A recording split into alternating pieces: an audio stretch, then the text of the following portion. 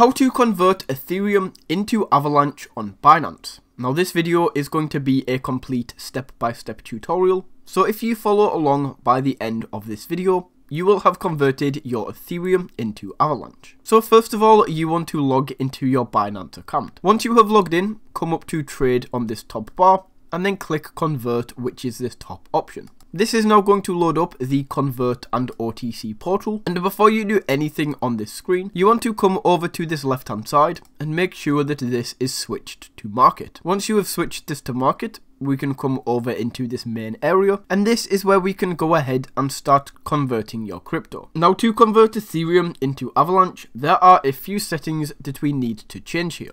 The first is you want to come to this top bar and click this drop down menu. We are going to be changing this to Ethereum. So if you search for ETH in this bar, you can see that the Ethereum token pops up. So if we click this, the top bar now changes to Ethereum. And then once you have done this, we can come down to the second bar, click the drop down menu once again. And this time you want to search for AVAX. This will bring up the Avalanche token. Once again, we can click this and that will change the bottom bar to AVAX or Avalanche. So your top bar should now say ETH your bottom bar should now say Avalanche, and this means that you are going to be converting Ethereum into Avalanche. So all you need to do from here is come to this top bar and enter in the amount of Ethereum that you would like to convert. Then click preview conversion at the bottom. This is then going to tell you how much Avalanche you will receive. So if I convert 0.1 Ethereum, I'm going to receive 3.6 Avalanche. So if you followed all of the steps and you are happy with the amount of Avalanche that you are going to receive, this yellow button at the bottom should say confirm. So just go ahead and click this. That will start up the transaction and that is how you can convert Ethereum into Avalanche on Binance.